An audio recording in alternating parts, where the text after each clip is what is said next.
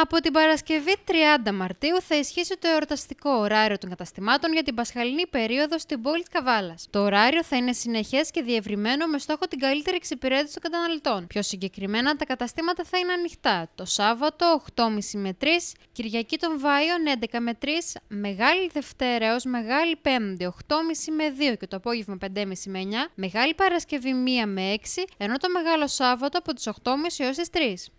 Ε, είναι ακριβώς το ίδιο με το περσινό το ωράριο, όπου δεν υπήρχαν παράπονα ούτε από τους ε, συναδέλφους, που είναι πάρα πολύ σημαντικό, αλλά φυσικά και οι καταναλωτές είχαν και θα έχουν τις απαραίτητες ώρες για να βγουν να αγοράσουν τα προϊόντα τα οποία επιθυμούν.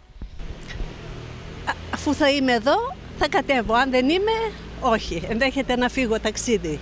Πιστεύετε ότι θα βοηθήσει στο, στην κατανάλωση γενικά; Να σου πω, όταν έχεις χρήματα, Ούτε το ωράριο βοηθάει, ούτε τίποτα. Αν δεν έχεις χρήματα, όλα δύσκολα είναι, κορίτσι μου. Α, μπα. Όχι.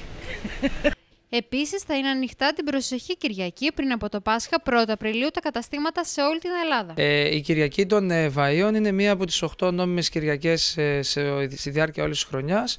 Ε, οπότε σε όλη την Ελλάδα είναι ανοιχτά τη συγκεκριμένη Κυριακή και έχουμε βγάλει ένα ωράριο το οποίο είναι 4 ώρες ε, πάντοτε ρωτώντας και συνομιλώντας και με τους ε, καταστηματάρχες οι οποίοι έχουν ε, υπαλλήλους για να μην υπάρχουν ε, και άλλα προβλήματα τα οποία έχουν να κάνουν με τα εργασιακά. Από εκεί και μετά ευελπιστούμε ότι να έχει καλές καιρικές συνθήκες, διότι το τελευταίο χρονικό διάστημα οι καιρικές συνθήκες δεν βοηθούν, ούτως ώστε οι καταναλωτές, όποιοι είναι αυτοί, να μπορέσουν να κατέβουν στην αγορά.